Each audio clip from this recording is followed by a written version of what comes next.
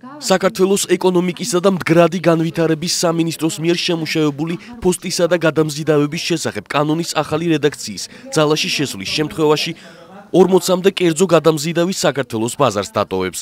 ამ საკითხის შესახებ გადამზიდავი კომპანიების წარმომადგენლებმა და საერთაშორისო გამჭვირვალობა საქართველოს დღეს ერთობლივი ბრიფინგი გამართეს. თუ ამას აკეთებენ როგორც ეკონომიკის სამინისტრო ამბობს რომ ქვეყანაში საჭიროა უნივერსალური მომსახურების შესახებ კანონი არსებობდეს კი ბატონო ვეთანხმებით ქვეყანაში უნდა იყოს უნივერსალური მომსახურება ეს კანონი უნდა არსებობდეს მაგრამ უნივერსალური სწორედ ამას ვამბობ. უნივერსალური მომსახურებას დავარქოთ უნივერსალური მომსახურება ის რაც არის ის და არა ის რომ სხვა ბიზნესებს დაარქვა უნივერსალური მომსახურება და ყველაფერი ის შეიტანო ამ კოლგის ქვეშ. საქართველოს პოსტას ის რესურსი ნამდვილად არ გააჩნია.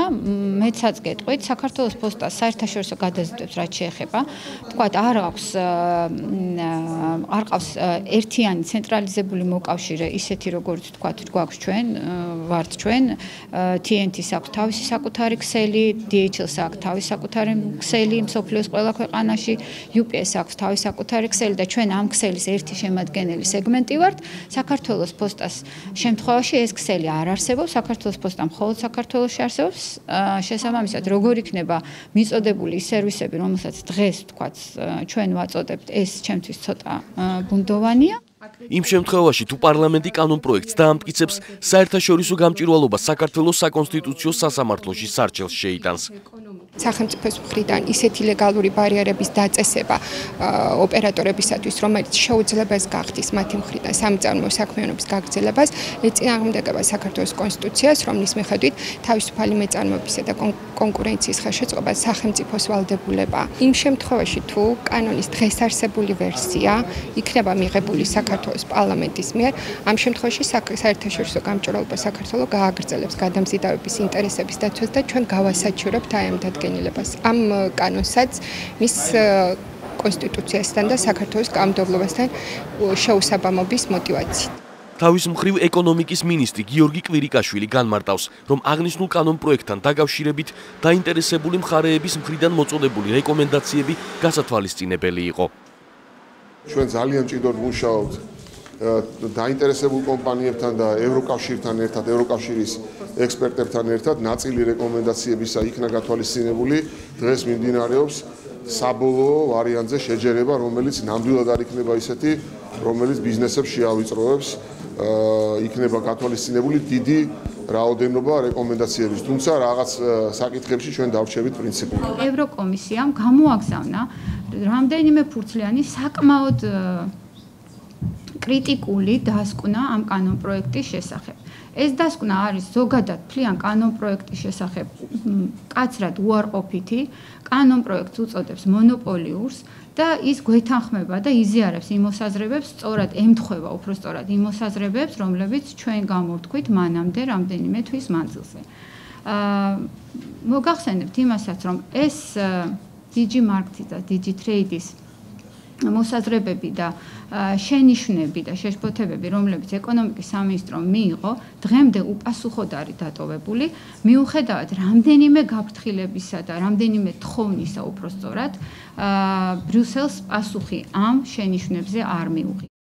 უნივერსალური საფოსტო მომსახურება, რომელიც ევროკომისიის აზრით ადგენს კანონის მიერ მონოპოლიას, მაგალითად დათქმულ სფეროს მოიცავს არა მარტო წერილების ფოსტით მომსახურებას ასგრამამდე, რაც შეესაბამება ევროკავშირის მიდგომას ბაზრის ეტაპობრივი გახსნის შესახებ, არამედ ასევე საერთაშორისო ამანათების ფოსტით მომსახურებასაც 30 კილოგრამამდე. ეს გულისხმობს თუ არა, რომ აღნიშნული ამანათები ექცევიან უნივერსალური მომსახურების სფეროში, მიუხედავად იმისა, რომ უნივერსალური მომსახურება ვრცელდება მხოლოდ 20 კილოგრამამდე ამანათებზე.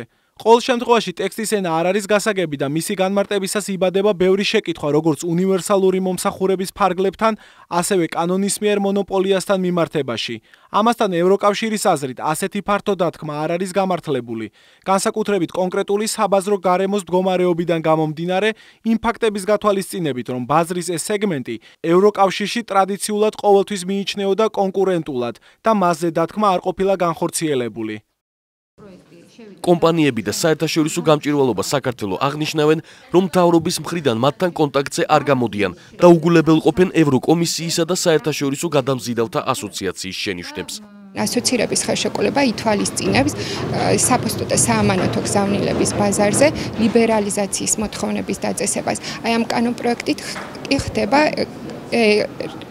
აბსოლუტურად საპირისპირო მოდელის იმპლემენტაცია, ლიბერალიზებული მოდელის ლიბერალიზებული ბაზრის რერეგულაციას აქვს ადგილი და შესაბამისად სახელმწიფოს მხრიდან უხერში ჩარევის და ამ ბაზრის მთლიანად კონტროლირების შესაძლებლობას ითვალისწინებს. პოსტის შესახებ ახალი კანონპროექტით გათვალისწინებული ცვლილებების დამტკიცების შემთხვევაში საქართველოს პოსტას ენიჭება კანონიერი მონოპოლია საფოსტო და საამანათო გადაზიდვების, საბაჟო საწყობების მომსახურების, კურიერული მომსახურებისა და ფულადი გზავნილების ბაზარზე. იმ შემთხვევაში თუ მომხარებას ექნება სურვილი, რომ ისარგებლოს არასაბანკო გადარცხვის, ანუ ფულადი გადარცხვის არასაბანკო სახეობით, აი ამ შემთხვევაში თუ კანონის არსებული რედაქცია დარჩება ძალაში, მხოლოდ საქართველოს პოსტის მომსახურებით შეიძლება ისარგებლოს, ვინაიდან მხოლოდ საქართველოს პოსტას ენიჭება ამ კანონპროექტის მიხედვით ამ მომსახურების საქართველოს ტერიტორიაზე მიწოდების უფლება. საქართველოს პოსტას დამოუკიდებლად ბუნებრივია არა აქვს შესაბამისი ფულადი გადარიცხვის ქსელი მთელ მსოფლიოში, რომ ეს უზრუნველყოს დამოუკიდებლად საკუთარი რესურსებით. ის გამოიყენებს ამ საერთაშორისო ოპერატორების სერვისს, მაგრამ საერთაშორისო ოპერატორები უნდა გადაუხადონ საქართველოს პოსტას აი ამ უფლების მინიჭებისთვის დამატებითი საზღაური იმისათვის, რომ შეძლონ საქართველოს ტერიტორიაზე აი მომსახურების მიწოდება და ელემენტარულად თავის საქმიანობის გაგრძელება. არასამთავრობო ორგანიზაციისა და გადამზიდავების შეშფოთებას საქართველოს პოსტის გენერალური დირექტორი ლევან ჩიკვაიძე უსაფუძვლოდ მიიჩნევს და განმარტავს, რომ კანონპროექტი მიზნად ისახავს საქართველოს მთელი მოსახლეობის უზრუნველყოფას საფოსტო მომსახურებით და რომ კანონპროექტი არ და ვერ ზღუდავს ფულად გზავნილებს. ეს არის აშკარაა, რომ მიზანმიმართული კომპანიის დისკრედიტაციისკენ არასწორი ბრძოლა, რაც გამოიხატება ტყუილის ტირაჟირებით. კანონპროექტში არ არის ჩანაწერი, რომ ვინმე შეეზღუდება ფულადი გადარიცხვები და ეს წარმოუდგენელიც არის. არ არის ჩანაწერი საკურიერო მომსახურებას აბსოლუტურად არ ეხება.